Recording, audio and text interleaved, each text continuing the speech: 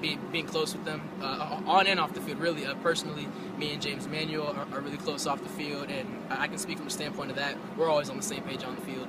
Uh, same goes for Aaron. Same goes for whoever ends up at, at that Mike spot as well. Were those breakdowns more against the run than against the pass? Uh, there were a little bit of both, but both, but but whichever they were, they're always mental errors. You know, if you go back and look at the film, it was never because we weren't fast as the guy. It was never because the other guy was strong enough. It was because we weren't where we were supposed to be. So uh, it's always a mental thing, which is easier to fix.